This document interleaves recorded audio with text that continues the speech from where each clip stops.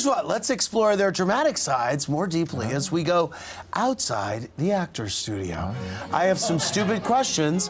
Please try to answer them sincerely. Jim Gaffigan, Yes. what was the last text message that you sent? Um, I'll be there in a little bit.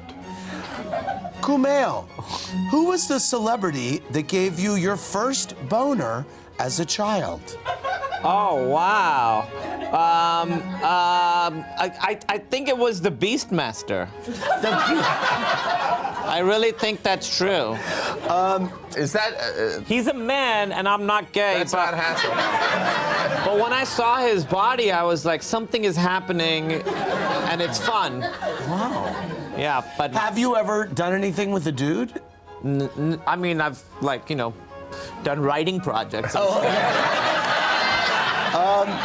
Jim Gaffigan. Yes. What was your first concert? Uh, Rush. Oh my God, that's awesome. wow. Today's Tom Sawyer. me, Yes, me, me. Um, if you could trade lives with any celebrity, Kumail, living or dead, who would it be and why? 100% it would be The Rock. Oh, it would be The Rock. Yeah, even if I just want to like Kid be Rock? No. Adult Rock. Adult Rock. Uh, I just want to like.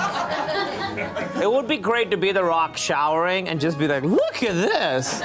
This is pretty good. Did you have one you wanted? There's, uh, you know, there's a lot of inspiration though that he's pumping out there. Like that seems, he seems too busy. The Rock. Right. He's always doing videos. Like I'm gonna do this. I'm gonna do that. He's always up at four. Whenever a movie comes out, he like calls it like Philippines. Love you guys. Movie's out. Go watch it. Baywatch. Um, did Does you he have an ever- answer does- to that? Does he? Does The Rock ever have moments of doubt? Like you know what? I don't know. If He's The Rock- remaking Jumanji. Obviously not. No, but I does, mean, does The Rock ever sit there and go, you know what? I can't do it. thank you very much for going outside the actor's studio. Thanks for watching. Watch more clips here and subscribe to our channel here. See ya.